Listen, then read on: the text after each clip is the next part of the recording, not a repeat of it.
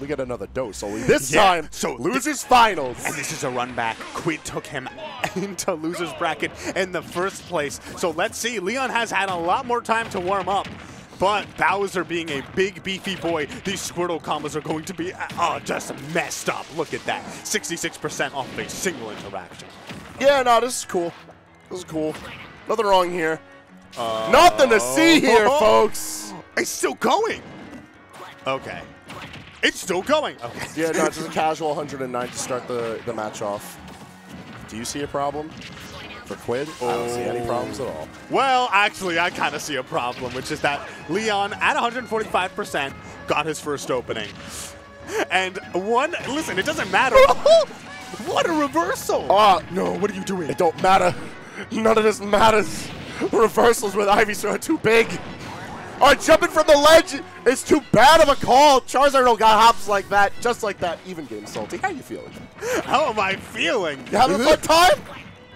I'm having a grand old time. Let's get another loop of the stock, just like that. Another 67 this time. Yeah, I guess one more hit from down air connected. Something along those lines. And oh, buffering the neutral air means that he's trapped at the ledge, giving Quidd all the time he needs.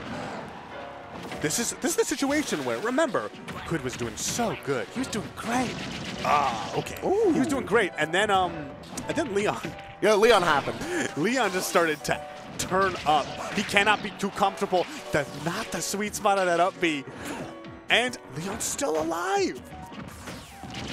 Quidd has got to find a way to more reliably end up these stocks. He's racking up the damage beautifully, and that's the callouts we need.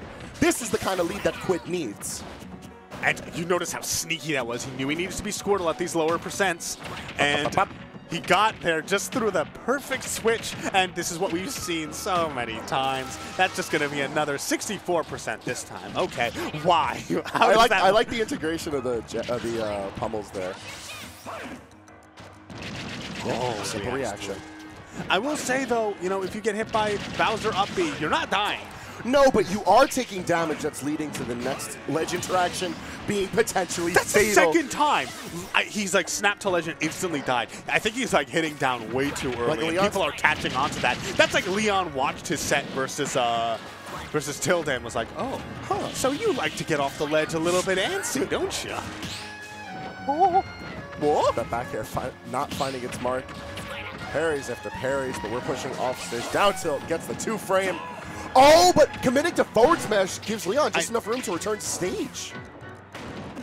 At the same, I do like that forward smash because he's specific. Oh, Good catch. Yep. Quidd takes game one. Yeah, I do actually like that forward smash because you notice the only way that possibly he would be able to avoid it was to go on stage behind him, at which point he would just release it a little bit early and he still got that back air, kept the pressure up. So I definitely, I, I do agree with it. And here we are, goes with a ledge jump. You see the beginning of, that's a Koopa Claw? I think if we could go back about, dot, dot, dot, dot, help with you. He looked like he pressed some button. I couldn't Yeah. tell you from the starting frames. All right. Regardless, game two bringing us to small battlefield. I think this is a better call because now Leon has just a little bit less space that he's going to get carried around by Squirtle from. That's an option we have not seen yet. Going, jumping off from the ledge in order to go for that uh, that Koopa Claw. It's a really good option. At the same time, very risky. If Quinn reads that, he can then knock him off off stage without a jump. And if you're Ivy, if he manages to get Ivysaur out in time, Trapping land is working really well for Leon. And he finds the mark with down B. again, he let go of ledge so quickly. He's not. I, I feel like he had more time to just sort of wait and see, but he's just so eager to get off the ledge, and now the opponents are taking advantage of that. Uh, a little early on the water gun, but super high recovery from Leon. Not punished out effectively. Very interesting adaptation for Leon. Now he's kind of playing the runaway game, but running away from this Ivysaur, a difficult task, but he manages it. Ew. Oh, this pressure, finding the forward air in between the uh, that the, all of those up airs. Leon definitely has his spacing down pat. And now again with the Koopa Claw extending because of the fact he forward tilted. That should be it though. Up Yeah, no, off platform. the yeah, off the platform. Yes, sir. Even stocks, but That's 78%, and because of Quidd's willingness to start things off on Squirtle, because of how reliable that early damage is, he's gonna die early! Yeah, it's like this risk. And that's why, if you think about it, the damage that he puts on is so important. A lot of times, you know, oh, well, how much percent, you know, is 30%, 40% extra credit? But the thing is, because Quidd wants to be Squirtle at those lower percents, once, you know, Leon comes in for the respawn, he threatens the KO immediately. It's such a difficult call to make in this matchup because there it really is no struggle for Bowser to find that mark. Like, whether it's a confirm from there into something Still else, no forward air, like, Bowser can kill very easily. That Oh. guard was so good, and you notice the way he was resetting, the way he was hitting him, made sure he could have gone for up air for more damage. No, he went for neutral air to keep him off stage. And now he's Squirtle again. He might get some nice hot, hot combos, but he's already at 69, meaning he is at kill percent here. Just one more down there. I like this ledge play. Just try to get the damage while you can, but you gotta be careful. Squirtle just a bit too late for these high tension situations. Not falling for the same trick this time. Down B does not find its mark, and now Quidd on the hunt to alleviate some of this percentage deficit. Oh, barely misspacing for both players. And also, think, because the higher percents, I know that sometimes Bowser can armor through Ivysaur neutral air the first few hits. I think it might be percent dependent. Yo! Up throw catches Oh, really? up air, just like that. because of small battlefield.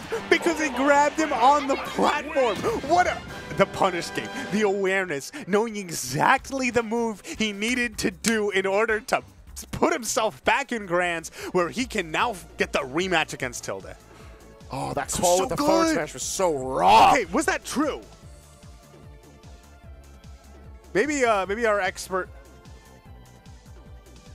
it is Thank you. So Devin 3000, there local was, Pokemon maybe there was player. a little bit of a problem. Lover of taking him to small battlefield. It was when we look at the bands, regular battlefields and Yoshi's story were taken away. It was very evident that Leon wanted these plats available to him, but the like town and city plats are, are too unreliable.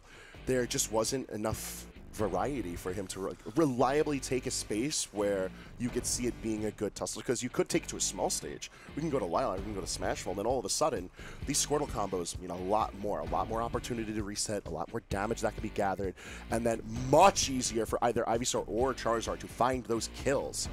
Yeah.